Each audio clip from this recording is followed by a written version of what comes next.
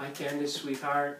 I just wanted to send you something to try to cheer you up and let you know how much I love you. You're as pretty as can be. And you're flower in the sun. And you have so much joy inside your little heart. You'll always